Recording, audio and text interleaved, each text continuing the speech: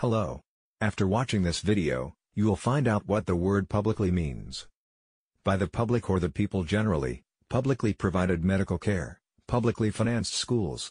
In a manner accessible to or observable by the public, openly, she admitted publicly to being a communist. In a manner accessible to or observable by the public, openly. By the public or the people generally.